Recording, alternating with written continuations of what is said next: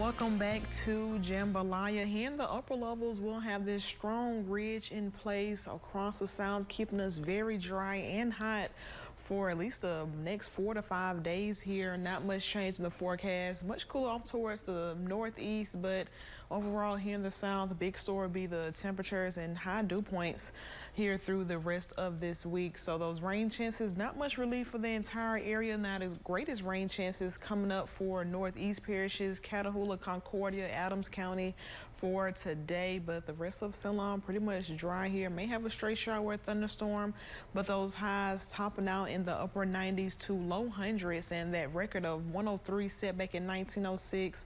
Average highs 91, so Lisa, uh, 8 to 9 degrees above average for today. But here is a look at the record highs for the rest of this week. At least uh, 104 in 1930, forecast high 101 through Wednesday. 104 is at record high, and then by Thursday, tied with a record high of 102. So we'll see how these temperatures pan out for the next couple days. We'll be near record highs coming up, but those dew points topping out the upper 70s and low 80s out there and taking a sneak peek at the feels like temperatures around 3 p.m. at least 106 here in Alexandria, 105 in Leesville, at least 108 in Bunkie. So very hot for today. We also have that heat advisory starting at 11 a.m. this morning. Heat index values near 111 for pretty much the entire state.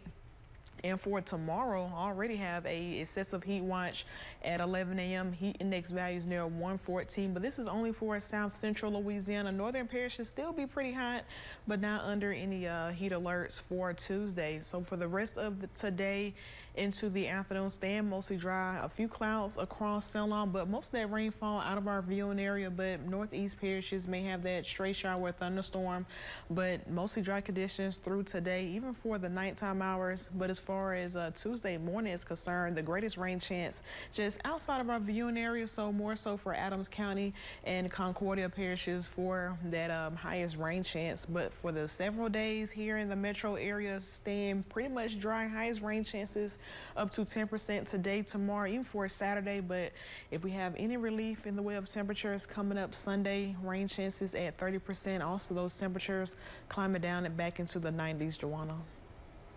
All right, Breyanna, thank you so much for the update.